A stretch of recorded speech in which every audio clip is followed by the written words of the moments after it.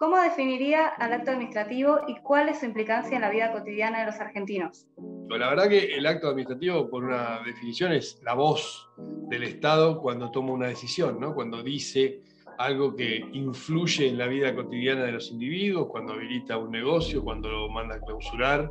cuando dice que uno puede conducir a partir de la expedición de una licencia. O sea, hay una cantidad de actos administrativos con los que convivimos que tienen distintos formatos, algunos que tienen un estilo similar a lo que conocemos como decretos o resoluciones, pero otra cantidad de actos